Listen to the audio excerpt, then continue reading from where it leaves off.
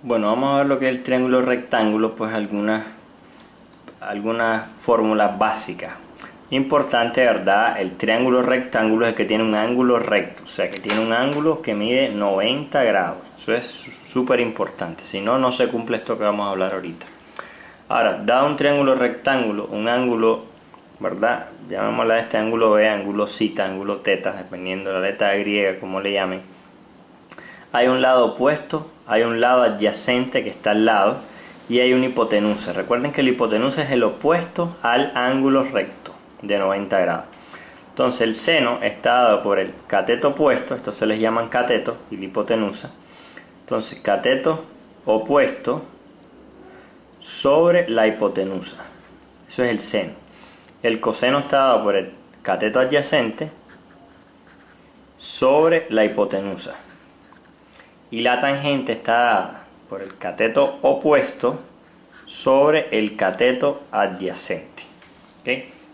Ahora, teniendo esto acá, debemos de recordar que también existen otras funciones trigonométricas. Aparte de seno, coseno y tangente está lo que es la cosecante, está lo que es la secante y está lo que es la cotangente. Ahora, la cosecante del ángulo es igual a 1 sobre el seno del ángulo. La secante del ángulo es igual a 1 sobre el coseno del ángulo. Y la cotangente es igual a 1 sobre la tangente.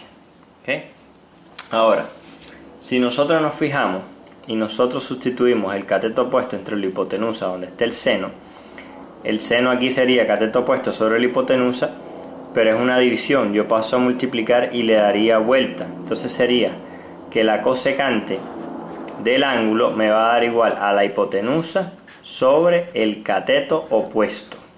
De igual manera la secante va a ser la hipotenusa sobre el cateto adyacente.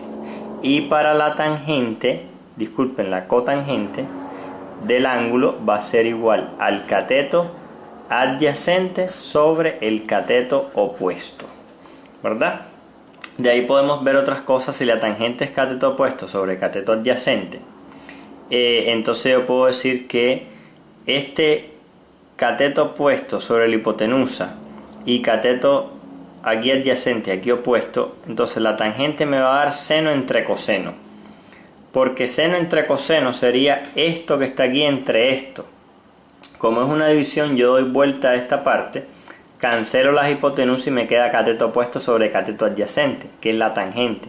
Entonces la tangente también puede ser seno entre coseno. Espero que le haya sido ayuda el video y puede verlo nuevamente.